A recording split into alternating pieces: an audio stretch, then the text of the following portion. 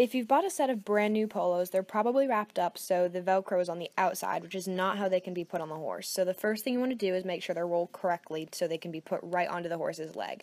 To do this, you want to wrap the Velcro into the Velcro. So lay the Velcro flat against the other side of the Velcro and then continue to roll up. And what I've done in this video is lay the polo across the back of the horse so it just gives you a flat surface to roll up.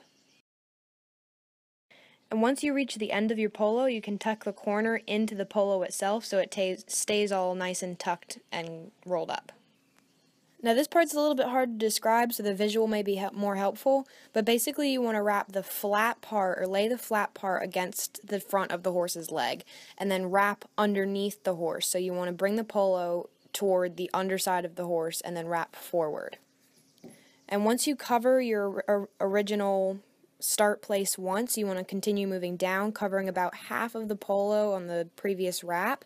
And my general rule of thumb for this is about four wraps down before starting the V cup part. Now, the V part tends to kind of trip people up a lot, and you don't really need it to be a dramatic V. You just want to cup the horse's leg. So you want to bring it down at an angle, pre like different from how you've been wrapping for the rest of the horse's leg, bring it down at an angle, scoop the horse's leg, and then bring it back up at that angle, and then continue wrapping straight like you have before.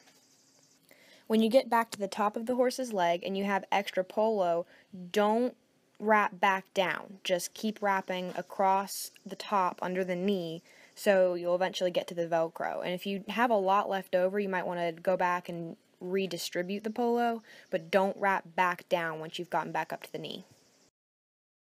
When you get to the back leg, it's the same general rule of thumb. You just want to remember that the back leg is going to be longer, so it'll take up more material. And a little trick that I find helpful is that you can tie the horse's tail in a knot so it doesn't get all wrapped up in your polo because it will get in the way. And with the back leg, you also want to make sure that the horse is standing square on the leg that you're wrapping. So if he's cocking that back leg or completely relaxed, just pull the tail so he pulls his balance back on that leg. Now when you go to take your polos off, it's the same thing as when you went to wrap them originally. Wrap the Velcro into the Velcro and wrap, once you get past the Velcro, just keep wrapping that way.